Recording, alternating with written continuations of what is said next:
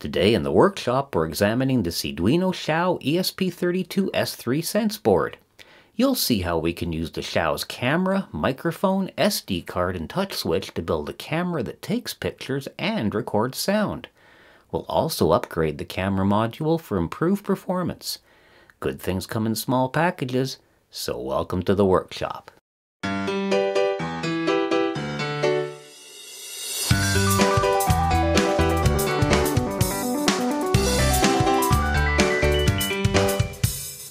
Well, hello and welcome to the workshop. And today we're going to be working with an ESP32 camera board. Now, when you think about ESP32 camera boards, of course, the first thing that comes to mind is the AI Thinker board, the ESP32 Cam. For $9, this board is an incredible value. And yes, you can still get it for $9 if you order it from places like AliExpress. If you buy it from a local vendor, chances are it'll be a bit more. But even at that case, it is a great value. So new ESP32 camera boards really have a lot to live up to. While this new board we're working with today is from Seeed Studio and it's the Seeeduino Xiao ESP32 S3 Sense board.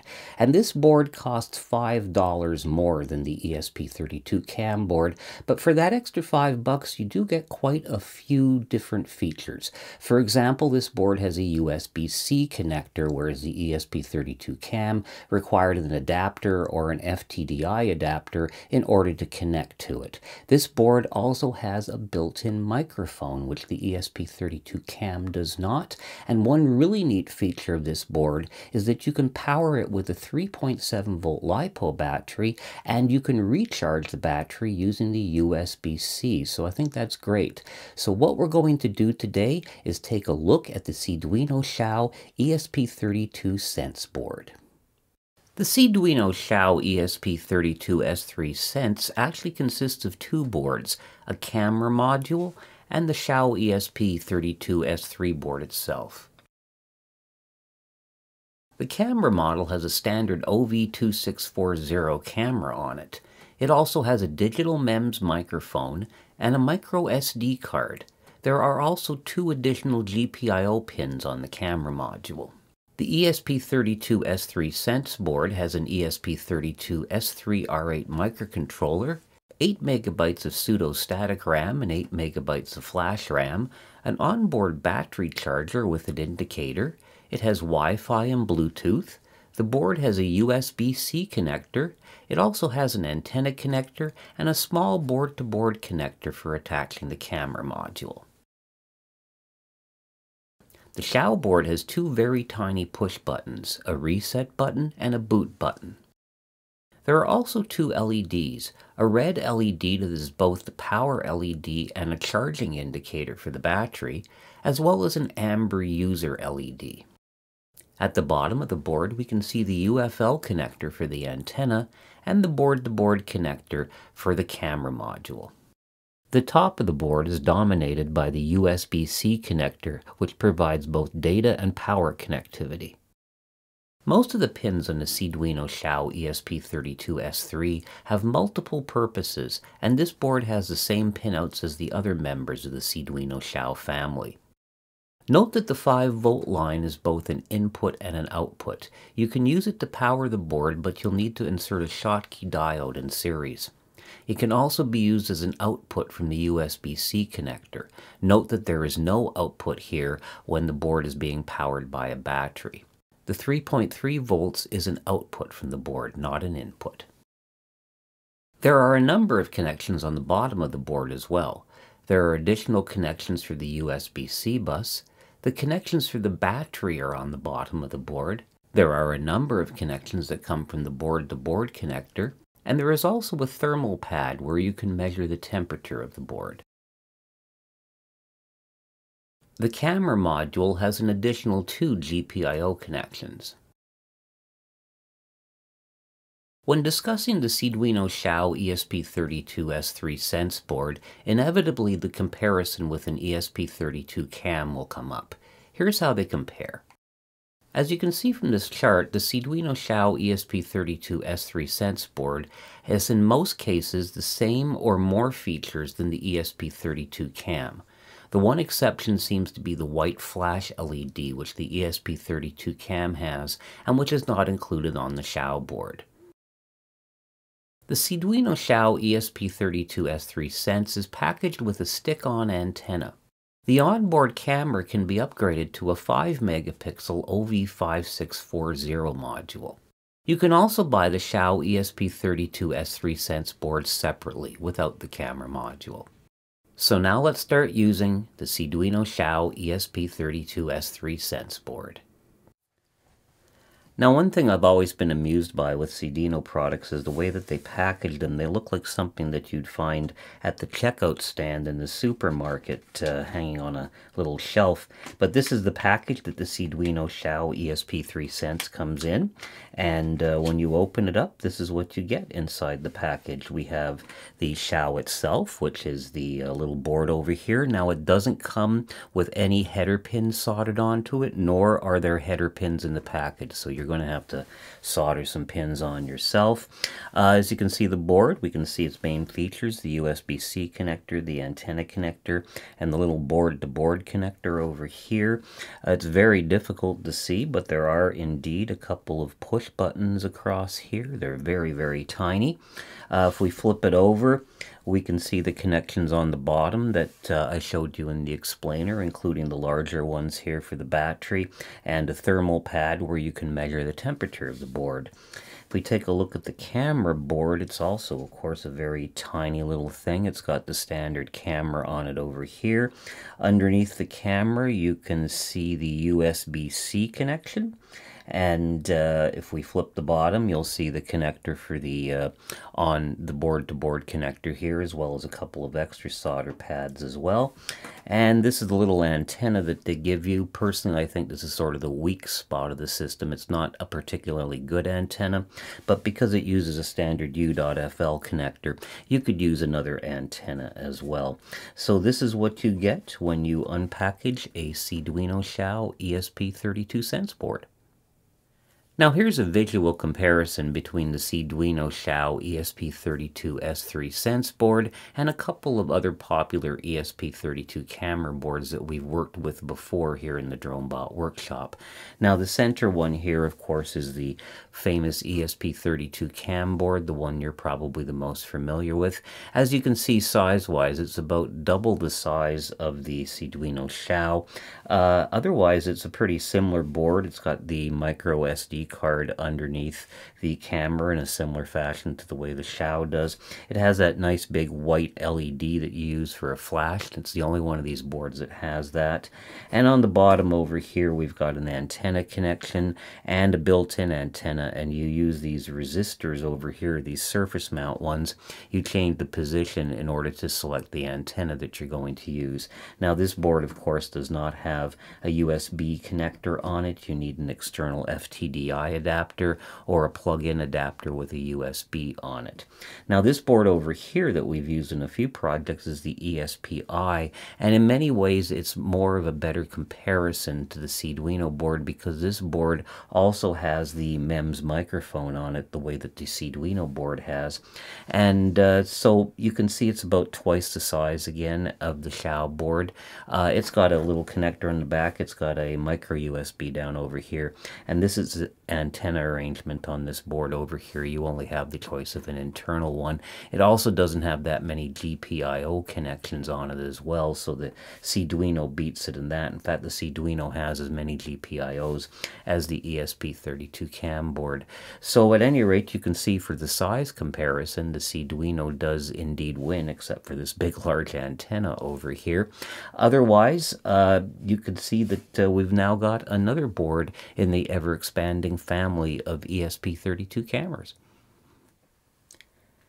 Now I've got a couple of accessories over here that you can use with the new Seeeduino Xiao board, and you can use these accessories with any Seeeduino Xiao. They're for the Seeeduino Xiao family. Now the first one over here is a prototyping board, and uh, we've used this one before. The Xiao itself sits over here on the board, and if you can see, there's some little pins on the board here. If you look on the bottom of the Seeeduino Xiao, right underneath the USB, you'll see some little pins, and these make contact with it and allows the USB to power the rest of the board. And this board's pretty neat. It's got a uh, OLED display on it, a push button, a buzzer. It's got a number of connections for I squared C and UART over here using the Grove connection system. And this is a system that Seeed Studio uses for a number of its different products. It's got a connector for a LiPo battery over here. On the bottom of it, it's got a micro SD card and a coin cell connector. So it's a really great way to prototype some of the Seeeduino Xiao stuff. Another prototyping board, which uh, I just think is really cute and is bound to be used on an episode of the DroneBot Workshop, is this one over here. This round circle is actually a round OLED display, and if you flip over the back, it's got a socket on it over here for the Seeeduino Xiao. It's got a connector for an external battery. It's got a connector for a coin cell, another micro SD connector on it over here, an on-off switch. And so you can build yourself a really neat uh, meter or maybe even an oversized watch using something like this. So these are a couple of prototyping accessories that work for all the Seeeduino Xiao boards, including the new Seeeduino Xiao ESP32S3 three Sense.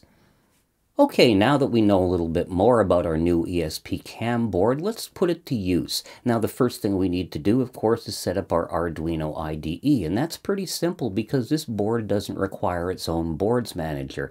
It uses the Espressif ESP32 boards manager. Now you're going to need to have the latest version of that boards manager, so make sure yours is updated, but otherwise the only thing we need to do in the IDE is make a setting for the PS or pseudo-static RAM, and we're good good to go. So let's go and do that and give our camera a quick test. Now before we can start using our new ESP32S3 Sense board with the Arduino IDE, we're going to need to set a few things up. The first thing is to make certain that we've identified the device correctly, and my setup has identified it correctly as a Xiao ESP32S3, but it's quite possible that when you plug it in, it'll be identified as a different ESP32.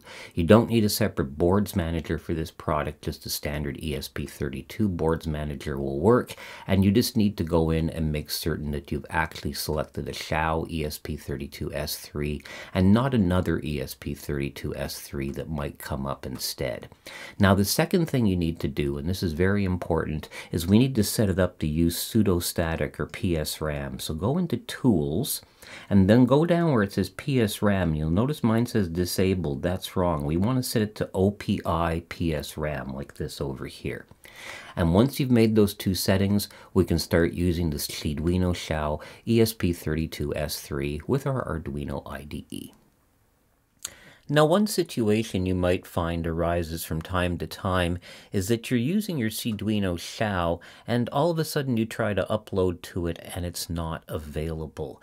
This little idiosyncrasy happened to me a couple of times, and it can be resolved by putting the Xiao into bootloader mode, and I'll show you how to do that.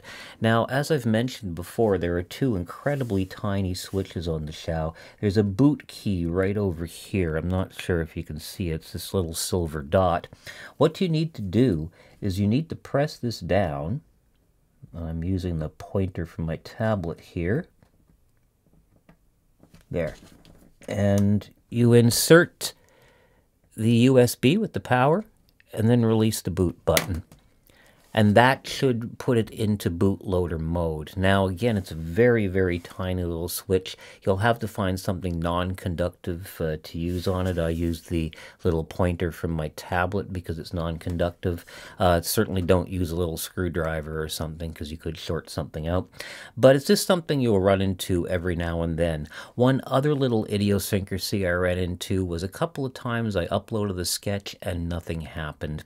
And it was simply resolved by out and putting back in the USB-C. Now, it only happened a few times to me, but I thought I'd pass it on to you just in case you run into the same situation. Now to test out the ESP32S3 Sense camera, the easiest thing to do is to use the camera web server sketch, and that's exactly what we're going to do. Now you need to have a recent copy of this sketch because it needs to have the definition for the Seeeduino Xiao camera, and this is the definition for it over here, and you can take a look in your camera pins file to see if you actually have that. Here it is on 179 of the camera pins file, and it's of course got all the various pinouts that it needs for the uh, Seeeduino Xiao ESP32S3 Sense board.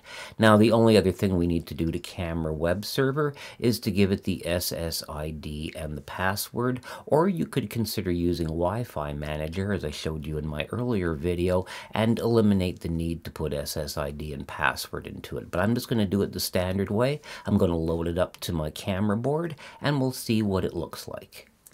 And so I've loaded Camera Web Server onto the Xiao ESP32 S3 Sense board, and here's the setup that I'm going to be using to demonstrate it. I've got a few things for the Xiao to look at right now. I've got a multimeter over here, which has got some nice orangish yellow on it, plus it's got the red and black leads. We've got my robot with his blue background and his red arms and his white eyes over here, and you can even see some of the labels on the side over here, so it gives it a variety of things to look at. And I've just got it mounted over here on a magnetic clip. Uh, again, it's not the easiest camera in the world to mount because it flaps around over here. But of course, if you're building a project out of it, you'd find some way of sensing it. I'm using a better quality antenna right now because I find that it gives me a better video stream.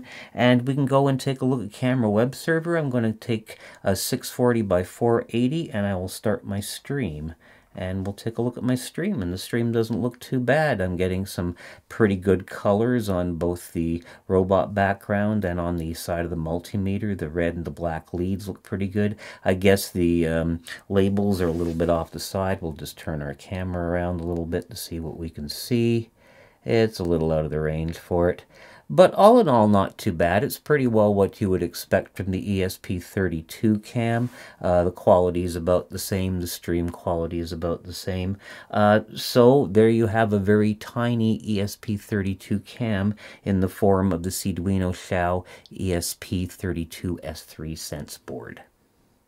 So now that we've got our ESP32S3 Sense board working, it's time to actually put it to use. Now there are a number of things, of course, that you could build with a board like this, and Seeed Studio has some great projects that use Edge Impulse with this board. Now you may recall Edge Impulse was a product that we used a little while ago in order to do object detection with ESP32 cameras, and of course you can do that with this new camera as well. Another thing you can do is you can do sound detection and train it on audio because of course this device has a built-in microphone.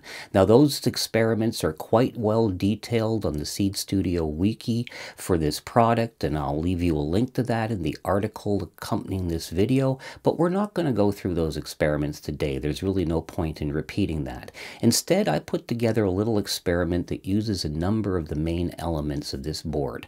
What it is is a camera. It's a still picture camera camera. But when you take a picture, it also records 10 seconds of audio to go along with this picture. And in order to use everything on this board, we've already used the camera, the microphone, and the SD card, we're also going to use the touch switch. And so the touch switch is how you're going to initiate a picture. It's just an experiment, but you could actually turn it into a practical product. So let's go and take a look at the different elements in this experiment, see how we hook it up, and then I'll show you the code for it. The Xiao makes use of the popular OV2640 camera module. This is the same module that is used in the ESP32 cam. This module was originally released in 2005 by OmniVision. In 2009, OmniVision discontinued the OV2640, but it's still available from many other manufacturers. One of the reasons for the camera's popularity is that it has internal hardware JPEG compression. This can reduce the size of the image by up to 25 times, making it much easier for microcontrollers to process it. The OV2640 has a quarter inch sensor and it has a 1600 by 1200 array of pixels. It's capable of SVGA or 800 by 600 resolution at 30 frames per second. To work with this module, we'll be using the camera library, which is included in the Arduino IDE when you install the ESP32 board manager. I won't even begin to read you off the parts number of the microphone on the board. I think it sets the record for the longest part number I've ever seen. This is a MEMS or microelectrical mechanical microphone. MEMS microphones are integrated circuits that are etched to have a microphone on them with all the mechanical elements etched onto the circuit chip. It has a PDM digital output. The microphone uses the I squared S interface. If you're not familiar with I squared S, I've done a video on using it with the ESP32 and you might want to check that out. This MEMS microphone has a maximum sound pressure level of 140 decibels. We'll be working with this using the I2S library, which is also included when you install the ESP32 Boards Manager. Our project will also use a micro SD card. We can accept micro SD cards with a maximum size of 32 gigabytes. You must format the microSD with FAT32. One of the easiest ways of doing this is to use the Microsoft Windows File Manager, but there are also other utilities that can assist you with this. As with all SD cards, our microSD uses the SPI bus, and we'll be using a number of libraries with it. The SPI library, the SD library, and the FS library for the file system. All of these are already included in your IDE. And finally, our project will rely on touch switches. The Seeeduino Xiao has nine touch switch inputs. These switches have an adjustable sensitivity.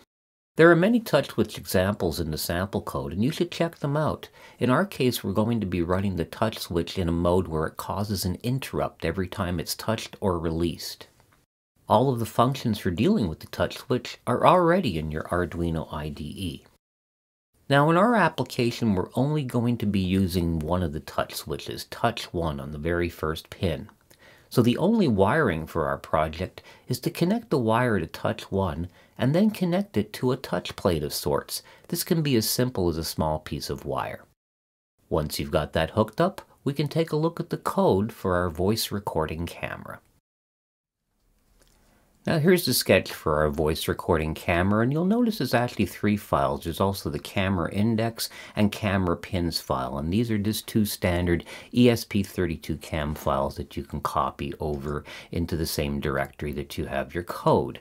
Now, we'll start off with the sketch uh, by showing you which libraries it includes. We include, of course, the Arduino and ESP32 camera library. The FS library is for the file system. SD library is for the micro SD card, and SPI library is how we interface to the microSD. So all three of these are basically for the microSD, and then I2S is the I squared S library that we need for the microphone. Now we'll start by defining what kind of a camera that we have, and this relates back to the camera pins uh, file over here, and of course we'll include that file as well.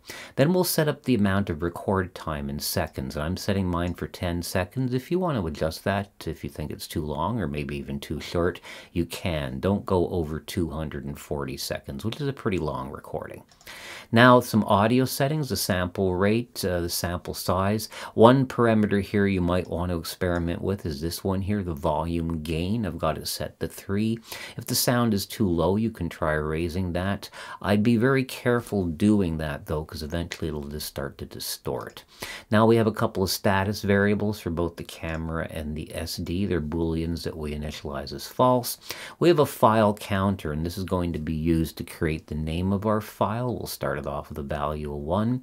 And this is the threshold for our touch switch. Now, this should work okay for you, but if it doesn't, you can experiment with it. But this value is pretty good for the ESP32.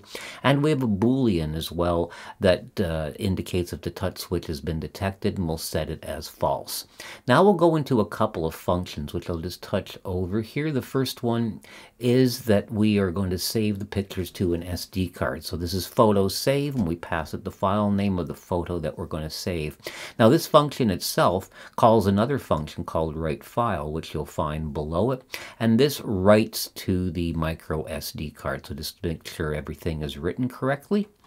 Now below that we have record WAV that records the WAV file and we provided the string which is the file name and it puts a bunch of parameters into here and it starts recording the sound. Now when it goes to uh, save the sound it needs to generate a header for the WAV file so it calls something called generate WAV header so if we go further down over here we'll see that we've generated WAV header. This is not my own work but you can see the reference for it over here and this gives you all the different header information for a WAV file. So if you've ever been interested in that, well, this will break it down for you.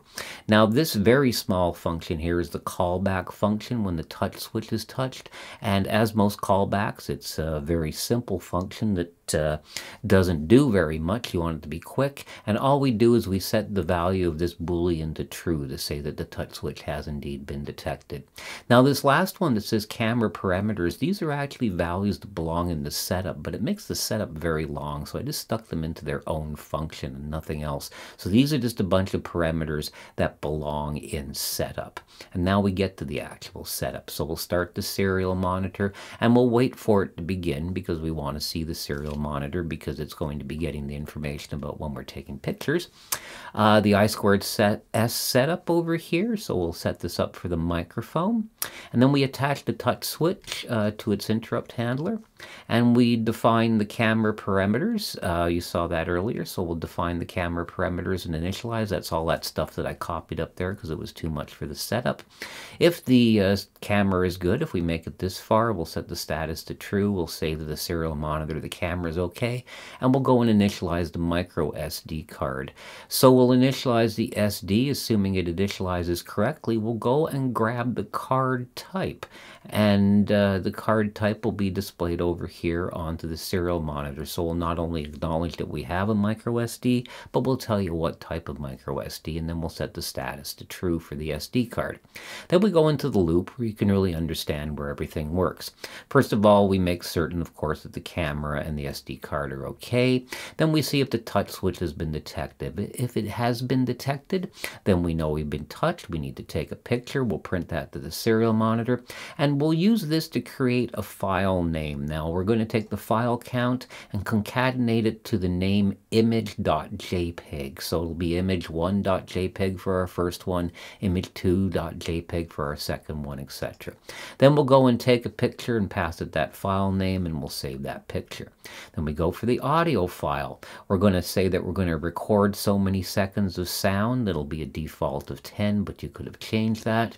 We'll do the same thing to generate a name for our audio file, and you'll notice we're calling it image. That may be a little bit confusing, but the reason I did that is that the only difference with this file is it's got an extension of WAV because it's a WAV file. And if we name it the same as the picture file, then when we list it in the directory, the pictures and their associated WAV files will be next to each other. So I kept it as image something dot wave. And then we'll record the audio, save it, increment that file counter for the next time. Down here, we'll reset that touch variable so we're ready for it, apply a short delay, and go back into the loop. So the loop actually pretty well shows you how everything works, and it itself is fairly simple. So let's take this sketch and load it up and see if we can get our camera with voice recording working. All right, well, we're ready to test our camera slash voice recorder with the touch switch activation. Now, testing out a camera on the Seeeduino Xiao is not that easy when you're trying to mount the camera.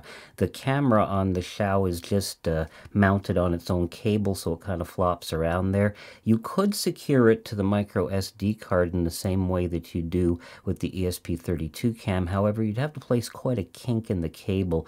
So I've just got it arranged on a little mount here on my workbench, and it's about 30 centimeters or a foot away from a target over here. And what I'm going to do is take a picture of the target, announce that I'm taking a picture of the target background, and then I've got a few things like this Seeeduino Xiao over here that I'll hold in front of the background and take pictures of it, and I will narrate that as well. And I decided that would be the test that we're going to do. So uh, I've not got the Xiao connected yet. I've got to do that first.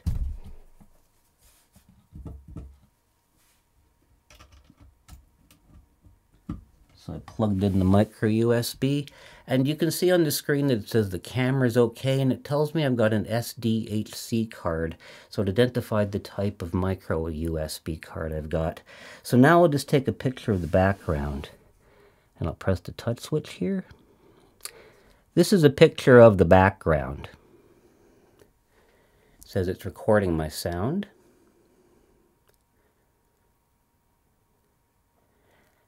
And the sound recording's finished. So it's taken its first picture, it's taken both a JPEG and a WAV file. So now I'll give it something to take a picture of. So this is a Seeeduino Xiao ESP32S3 board.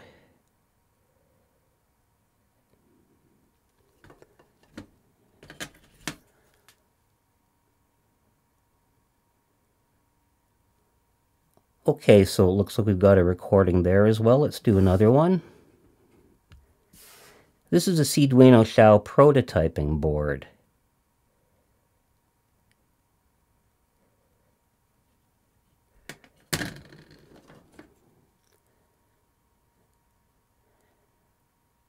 And so now we've saved a third image and a third wave file. And let's do a final one. This is the back of a Seeeduino Xiao round display.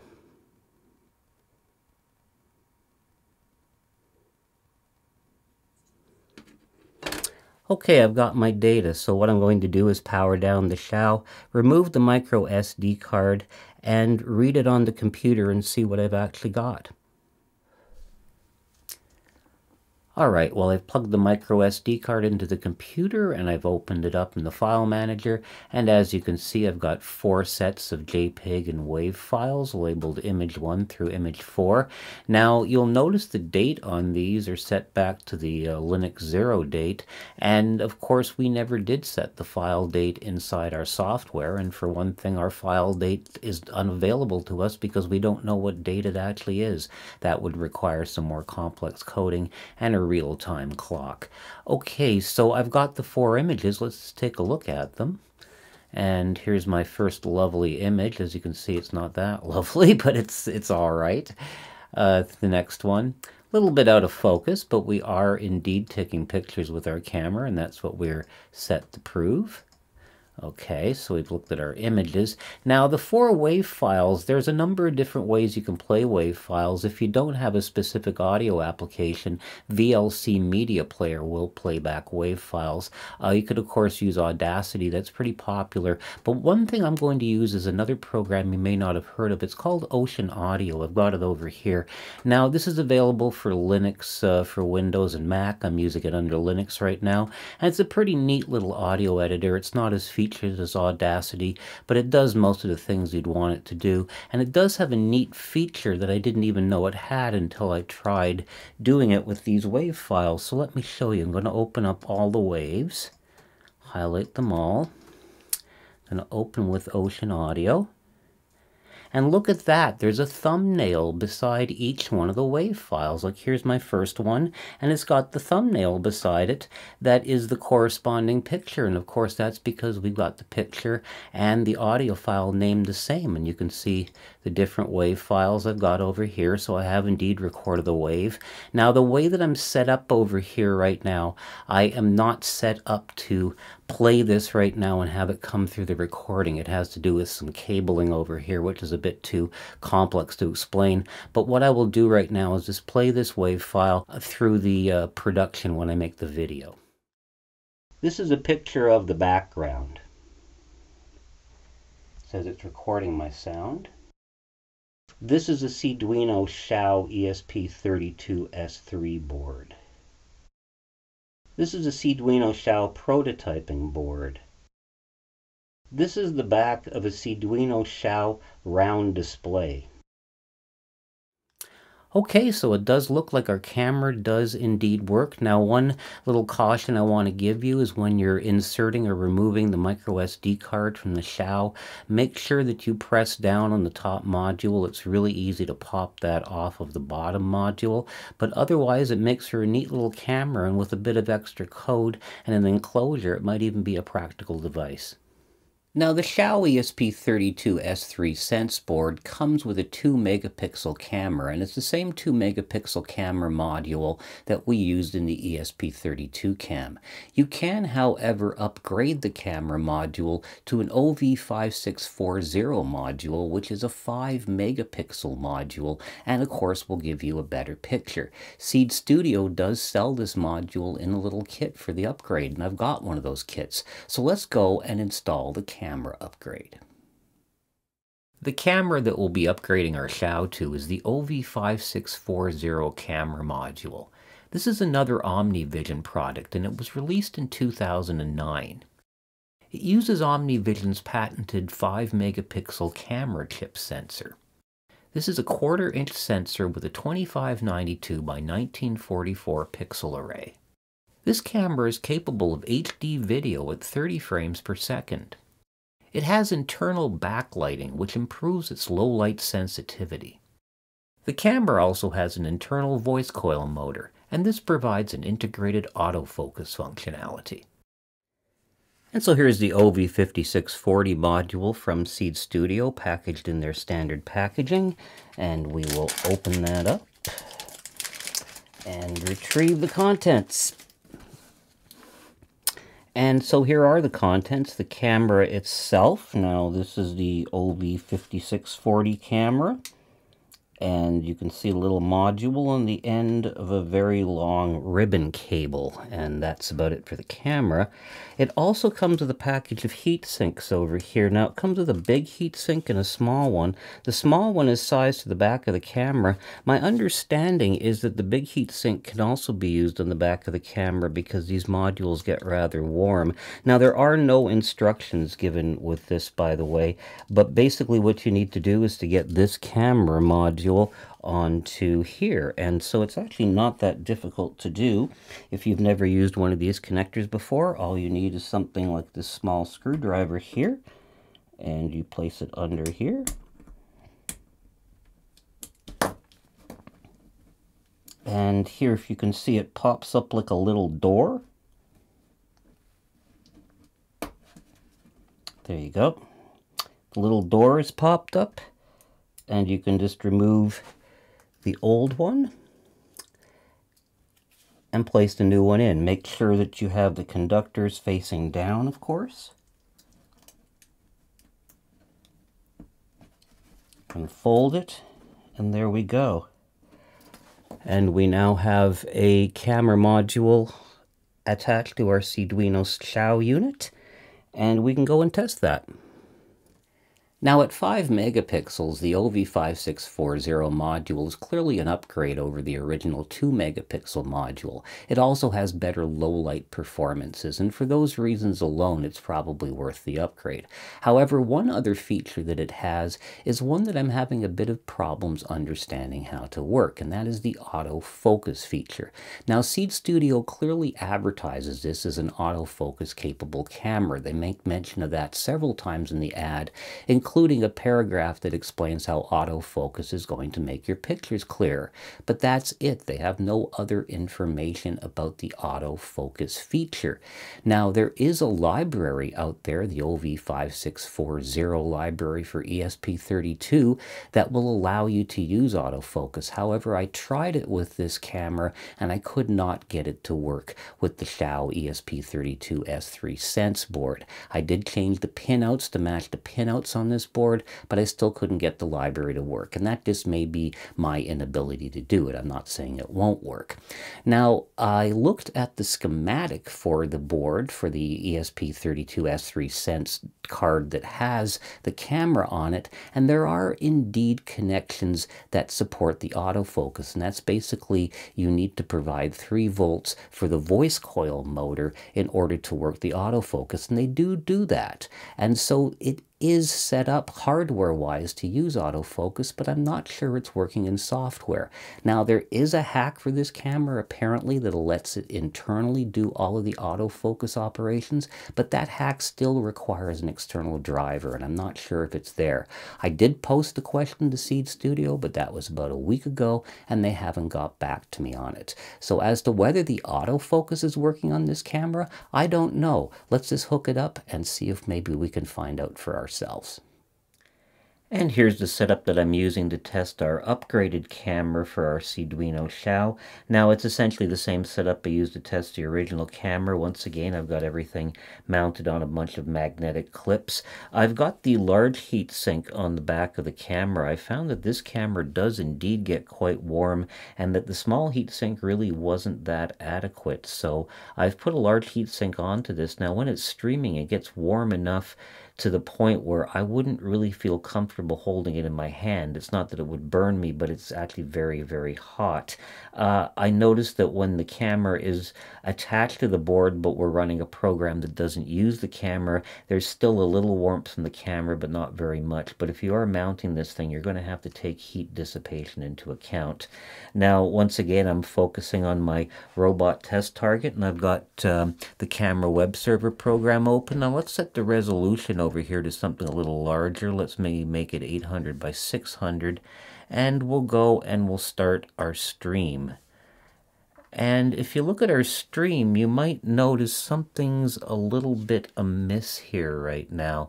Now take a look at the picture of what the camera should be seeing and what we're getting back. And you can see that this is a mirror image of it. For some reason, this camera gives a mirror image. Of course, you can correct that in the camera web server by just doing horizontal mirror, and there we are. And it actually does make a very nice picture. Now, I'm not sure about the autofocus. I don't know if I bring something closer or further if it's going to focus on it. I don't think it does it by itself. The camera has autofocus capabilities, but you really need to be doing something in software. It can give you the autofocus signals and it can accept them, but I don't think it can do it itself. It does have a good depth of field, though. Everything does seem to appear in focus.